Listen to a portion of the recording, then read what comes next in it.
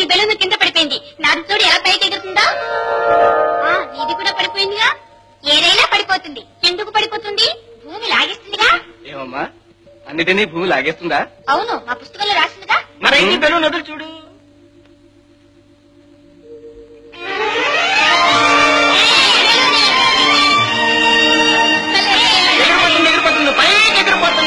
నా బెలూన్ కింద పడలా. మరి భూమి ఎందుకు లాగలేదు? అవును భూమి ఎందుకు లాగలేదే?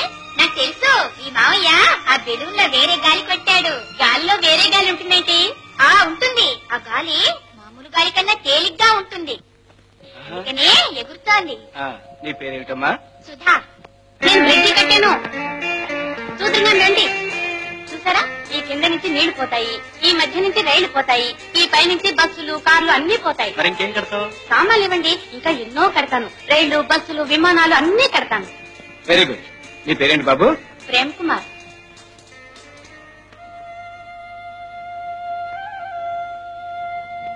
బాబు ఏం చేస్తున్నావు బాబు? సపోటా పళ్ళు తిని గింజలు పారేశారు. అవి నాటితే చెట్టు వస్తుందేమో అని చూస్తున్నాను. వస్తాయి బాబు తప్పకుండా వస్తాయి. అప్పుడు ఇన్ని కాయలు వస్తాయి. అందరం తినచ్చుగా? వెరీ గుడ్ ఆటపాటల్లోంచి వాళ్ళ జిజ్ఞాస గుర్తించారు. వాళ్ళ మనస్తత్వాలు గ్రహించి సరియైన దారిలో వారిని మరిచారు.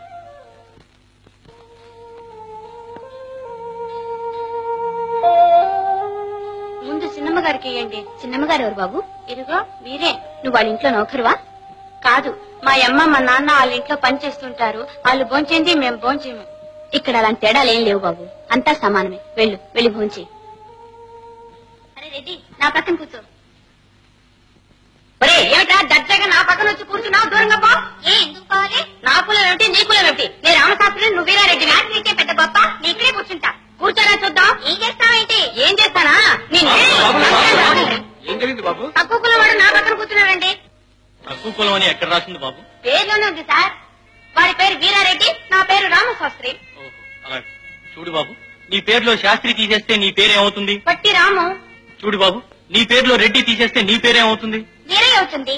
అప్పుడు కులాలు తెలియవుగా? ఇప్పుడు తెలుసుగా? కానీ రాము వీరయ్య అని పిలుచుకుంటూ ఉంటే కొన్నాళ్ళు కులాలు మర్చిపోతారు. ఇలా దెబ్బలాడుకోవడం మానేస్తారు. ఎందుకు మర్చిపోవాలి? ఎందుకంటే మన కులాలు ఉన్నందువల్ల లాభం ఏమిటి చెప్పు? ఇలా దెబ్బలాడుకోవడం చంపుకోవడం తప్ప ఇవన్నీ మర్చిపోయి మనమంతా ఒకటిగా హాయిగా ఉన్నాం అనుకో ఎంత బాగుంటుంది? అవును బాగుంటుంది. మరి పెద్దలు ఎందుకు కులాలు పెట్టారు? ఆ రోజుల్లో వాళ్ళు వాళ్ళు చేసే పనులు బట్టి అలా పిలిచేవారు. ఇప్పుడు డాక్టర్ ఇంజనీర్ వకీలు అంటారు. అవి కులాలు కావుగా? అంతేనా? అంతే మరి. అయితే కులాలే అక్కర్లేదుగా? Very good. ఆ ఇది ఇప్పుడు ఇద్దరు ఒక్కసారి రాము వీరయ్య అని పిలుచుకొని చూద్దాం. వీరయ్య? రాము. ఆ ఇప్పుడు ఇద్దరు ఎక్కడ కూర్చొని ఫోన్ చేస్తారు? పక్క పక్కన కూర్చొని ఫోన్ చేస్తాం. గుర్తు తెలియడానికే మనిషికి ఒక పేరు అవసరం. కానీ ఈ పేర్లు కులాన్ని మతాన్ని విప్పి చెప్పడానికి కాదు అన్నది నేర్పారు మహాత్మా గాంధీజీ పద్దెనిమిది వందల అరవై తొమ్మిదో సంవత్సరంలో అక్టోబర్ రెండో తేదీన గుజరాత్ నందలి పోరుబందర పట్టణంలో స్వచ్ఛమైన వైశ్య కులంలో జన్మించాడు. అంటే కోమట కుటుంబంలో జన్మించాడు. కోమట్లమ్మాయి కోమట్లమ్మాయి నిక్కిరించావే గాంధీ మావాడు. మీరే పప్పు బ్రాహ్మణులు మాకేం? నెహ్రూ మావాడు. చూడండి ఈ పుస్తకాల్లో ఉన్నది ఏమిటి? గాంధీ గుజరాతీ కోమటి శివాజీ మహారాష్ట్ర క్షత్రియుడు నెహ్రూ కాశ్మీర బ్రాహ్మణుడు బోస్ బెంగాలీ కాయస్థుడు టంగుటూరు ప్రకాశ్ ఆంధ్ర బ్రాహ్మణుడు అంటూ మనకు తెలియకుండానే మనం రాష్ట్ర కులమత ద్వేషాలు అసూయలు ఆవేశాలు మన పిల్లలకు రంగరించిపోస్తుంది అవును. జాతి సమైక్యతను సాధించవలసిన ఈ రోజుల్లో మనం పిల్లలకు నేర్పవలసింది ఇది కాదు. ఇది మన లక్ష్యానికి అయితే ఈ ఇరుకు గోడలు కొలదోసి అందరం భారతీయులం నేర్పే కొత్త పుస్తకాలు తయారు చేయాలంటారు. పాఠ పుస్తకాలను మార్చి తిరిగి రాయించారు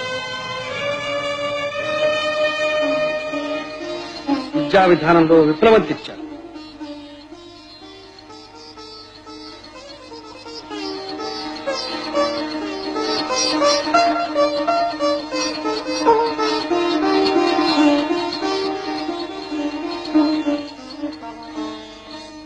ఇలా ఎక్కడో ఎడారిలో వాసన లేని పువ్వులుగా వాడి రాలిపోవలసిన వీళ్ళను ఈ నందనవనంలో మల్లెమాలతులుగా పెంచారు